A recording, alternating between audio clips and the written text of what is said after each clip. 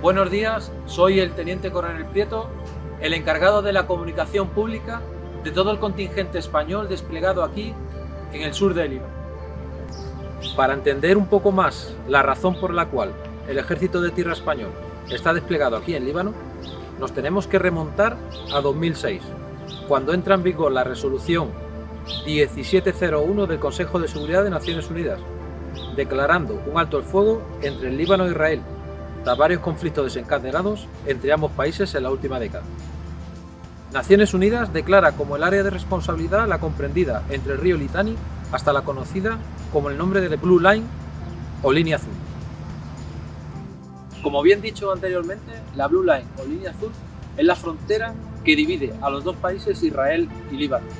Esta frontera está delimitada o marcada por una serie de barriles como los que podéis ver ahí atrás. Los barriles azules o Blue Barrel.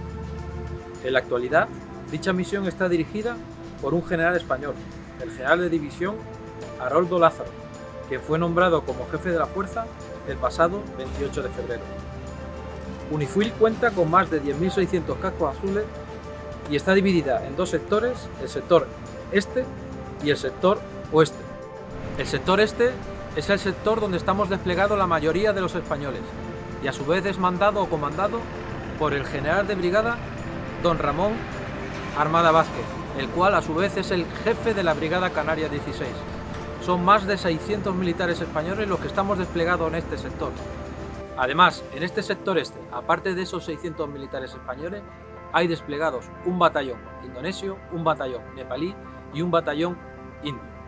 Dentro del batallón español hay militares y compañeros que pertenecen al Salvador y que también pertenecen a Serbia. Al tratarse de una unidad multinacional, su cuartel general, que es la encargada de coordinar todas las operaciones está constituido por militares de todos los contingentes anteriormente nombrados, más personal del contingente brasileño.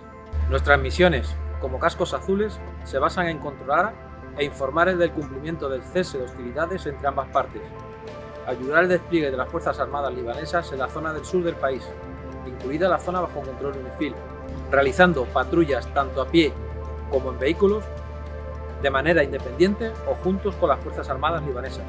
Por otro lado, poder asistir y ofrecer la ayuda humanitaria precisa a la población. Como podéis observar, se trata de una, una misión constituida por multitud de países, que es la señal de identidad de Naciones Unidas.